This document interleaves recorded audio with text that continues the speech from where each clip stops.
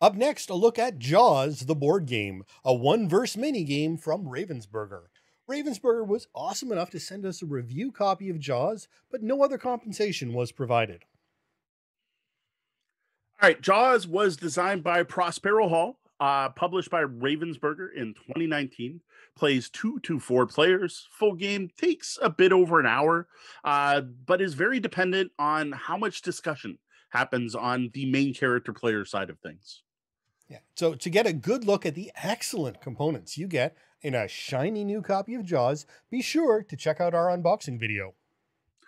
Now the components are really nice, as Sean said. They they are excellent components. There are some great meeple, including a fantastic shark meeple. Uh, there's little boats that actually fit the meeple in them. Uh, there's a number of cards. There's a nice compact two-sided board that I think would be great for like a coffee shop or a diner. Um, some other tokens and bits. Like I I honestly have no component complaints at all about the components in this game. Yeah, definitely solid materials. Ravensburger has really been on point when it comes to components in current releases. Uh, Though I do have to say, what is with Ravensburger calling meeples movers? Hmm. That just confuses me. I, the same thing like Horrified. The the minis, they're called movers. Take your mover and move it here. That was just weird. Yeah. It's got to be a translation thing. Or maybe maybe someone's tried to trademark meeple. I don't think so. Hmm. But uh, well, how does one play this board game version of Jaws? All right. Well, in Jaws, one player takes on the role of the shark. The other players play Hooper, Brody, and Quint. Game of Jaws is broken into two acts with the results of the first act impacting the second. In the first act, characters are moving around the island trying to capture the shark, whereas Act Two, the shark is attempting to destroy the character's boat or eat them all. So much in keeping with the rough outline of the movie shark as hunter and then shark as hunted. Now, the first part of the game is Act One. Uh, it's Amity Island, which I have to assume is the island the movie takes place on. Uh, here, players playing the shark attempts to eat as many swimmers as possible, while the characters try to attach two barrels to the shark and protect the swimmers. Each round starts off with an event, which mainly has players placing a number of swimmers at the beaches that are on the island, and can include some additional rules that will impact the rest of the round. Then the shark acts followed by the characters. The shark gets three actions, which are either really simply eat a swimmer or move. In addition, though, the shark starts the game with four special abilities. They can use one of these each round. Now, these let the shark do things like eat extra swimmers, move extra spaces, or evade detection for the round. Now, all of these actions are taken in secret by the shark players. So this is one of those hidden movement games, like Scotland Yard or uh, many other games. Uh, Spectre Ops is the other one I was trying to think of, and they do this using this shark tracker pad. And the only thing they have to tell the other players is how many swimmers they've eaten and where, not at what time, and if they trip any motion sensors, which are on the barrels, which we'll get to in a second. Now, and the shark pad is a real piece of paper, not a dry erase board, with more than enough sheets for any but the biggest fans of this yeah. game who plan to hand it down to their kids later in life. You may you may run a little short at that point, but I am sure there's probably somewhere online you can get more sheets. Yeah, absolutely. Too. All right, next the players act. So each character has their own set of actions. Some overlap, some don't. Uh, Quint's the pilot of the fishing boat, the Orca. Uh, he's in the water around Amity and can either move, rescue swimmers, pick up barrels, or launch barrels in the water. Launching barrels is, of course, important because if a launched barrel hits the shark, the shark meeple is placed on the board so everyone knows where it is, and the shark player takes the barrel and places on their player board. Once the shark has two barrels, this act is over. Barrels that don't hit the shark, though, float in the water and act as motion detectors going forward. Now, Brody helps from the shore. Brody can move, rescue swimmers, pick up and drop off barrels, use the binoculars to try to spot the shark on a beach, or close one of the beaches. Closing beaches actually prevents swimmers from showing up there for a limited number of time. Hooper, the last character, pilots his speedboat around the island. Hooper can move, rescue swimmers, pick up barrels, give barrels to Quint, and use a fish finder. Now, the fish finder is used. The shark player has to tell the other players if they're in the square with the fish finder or in adjacent square to the fish finder or somewhere else. Right. So player positioning and cooperating cooperation is really important during these phases. Though we should be should be aware it can lead to quarterbacking if you've got one yes. of those players at the table. Yeah, this is definitely like you have the co-op aspect from the three players. The three characters are working together. And interesting enough, you play the game three player. They literally say each player chooses a character and then shares the third, which I don't think I've ever seen in a game like worded that way, like spelled yeah. out. So play continues. Uh, event shark moving, players moving until either the shark has eaten nine swimmers or the characters have managed to attach two barrels to the shark. So honestly, I think this Act One is where the game really shines uh, as you will not be able to do everything you want as a player or as a team, and you really need to outthink the shark who needs to stay on their toes the whole time. Uh, and it, it, really is a well shaped, uh, you know, one versus many yep. game. So Act Two, the Orca. So at the start, uh, the shark's going to get a number of shark ability cards, so special abilities, and the characters are going to get a bunch of random equipment cards. And this is based on how well everyone did in the first half. Um, the board gets flipped over and you build a boat out of tiles. You're going to put your meeples on the boat, movers, sorry, your movers on the boat. And then what's going to happen here is you are going to flip over three cards from this deck called the resurface deck. And it shows three potential spots the shark could pop up and attack from. Now, the shark's going to take tokens A, B, and C, and it's going to pick which of the three cards basically they're going to follow. And then the characters then get to move around on the boat pick one of their weapons from their crew cards and then puts a target token going, I'm going to think the shark's going to show up here and I'm going to attack here.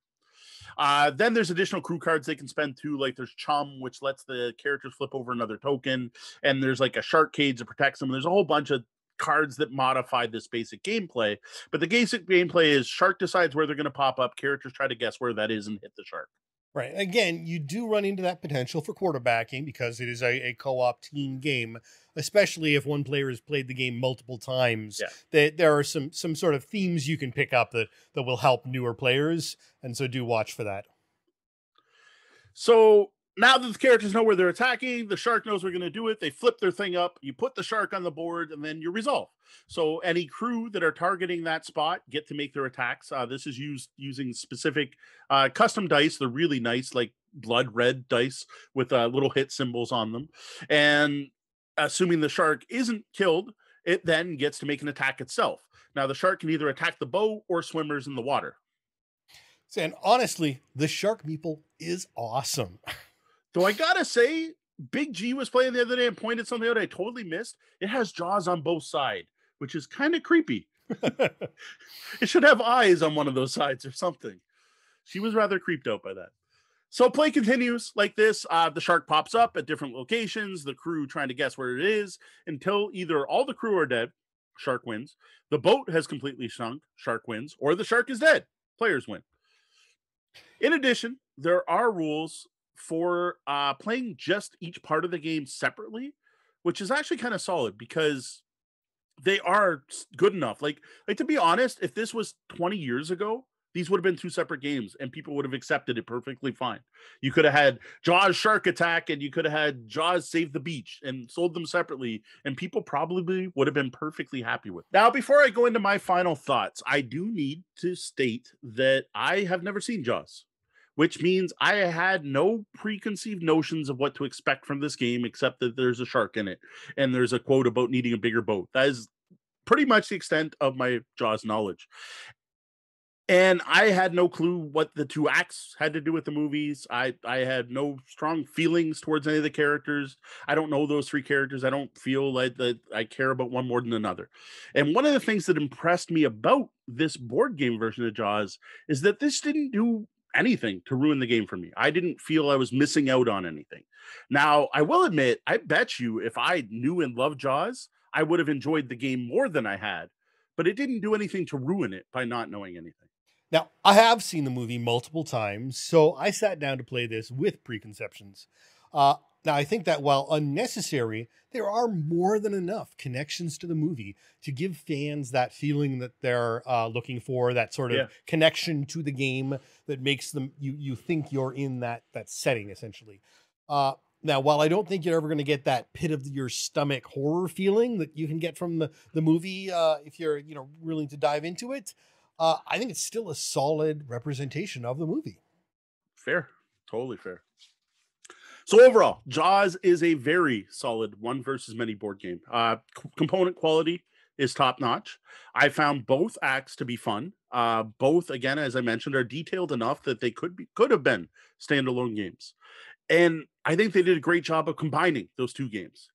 And we have seen both the shark get caught very early and the shark get all nine swimmers, and that not unduly affect the second half. Now, it did have an impact, but it didn't seem like uh, because the shark did so great at the beginning, they automatically won or anything like that. Uh, what I have find that's interesting, and I'm seeing this in the chat room tonight here on Twitch, is that different people seem to like different parts of the game. Like everyone seems to have their preference, right? So um, we have Pennywise preferred the first act, whereas Angie Games preferred the second half. So I, I think that's interesting, and I also find that people will switch which phase they prefer depending on which side they're on. So like people have enjoyed part one more as the shark. I've found most cases. Um, what I do see though is everyone who plays the shark seems to prefer playing as the shark. Like not enough that oh I hate playing the characters, but like it does seem like um if everyone's played this game before, you're gonna have that well who gets to be the shark this time moment. Right. So I solidly saw I fall solidly on the first uh, first act is a, better team. Yeah uh, with the opening act being more of an interesting game for me. But full disclosure, I've only played as the players. I never actually got a uh, a turn as the shark. So. Mm-hmm. Yeah, fair. It, like you need to play the shark just so you can see it. Uh, honestly, I can't find anything to really fault about this game. Now, I will say this isn't a game that I personally feel I want to play often. This just isn't one that I'm just like itching to play again. Now, maybe it's the fact that I have no personal ties to the license or maybe it's something to do with the gameplay. I don't know. Um, playing Jaws does feel like sitting down to play two different games when you play. Again, that's not a bad thing, but it's just like I could fit in two games of something else, or I could play two different games instead of playing both parts of Jaws. And I like to me, that's something I consider when trying to decide what to play on game night. So I, to me, it really is a solid game with some great build quality, some interesting mechanics and play, and while I had a great time playing it, uh, playing it once as a human, and I would try it again to play as the shark, I feel it was mostly a one and done for me, other than that, uh, which is something I found disappointing because, again, it's a really well made game. Like, mm-hmm. so they have clearly put so much effort into this game, and I wish I wanted to play it more, but I just don't. Yeah. Now I got to say, if you are a fan of Jaws the movie and you're a board gamer, you got to try this somehow. Whether it's whether it's you pick up a copy and and and play it for yourself, or you try it out at the local game store, you borrow a friend's copy, go to the local gaming cafe. Like I honestly, if you are a Jaws fan, you got to try this game. you Got to give it a shot. Now, if you're like me and haven't played Jaws, there's still a lot to like in this game, especially if you like that one versus many, the the semi co-op game, right? The one team based co- bunch of players working together against the, someone else. If you dig those, I think this is a solid example. Now, if you do get a chance to play, the thing I do strongly recommend is give the game a try from both sides. Try once as the shark and once as the characters. Now, because the, the gameplay is different enough that I think you want to see it from both sides. Now, the problem is it takes a while to play both parts. And I don't think anyone's going to want to do it right then. Like if you got a group of four players, you're not going to give everyone a turn as the shark in one game night. I just can't see playing four games of Jaws in a row. So you almost need like two days, two chances to play the game, so you can can spread it out. I would actually say you almost need four chances because yeah. a lot of the time you're not going to find people who are going to want to play as the people again if yeah. they've played as the people, they're going to want to play as the shark. So you need another new set of people to yeah. play as the people, just to while everyone's out, yeah. trying the shark. And and that's that's sort of why I think it falls flat for me. I you know, hey, I played it as the people. I loved it. Now I want to play as the shark, but I feel bad. I don't want you to have to play as the people again. yeah, fair enough. Well, for a more in-depth look at Jaws, you can head over to tabletopbellhop.com and click on reviews.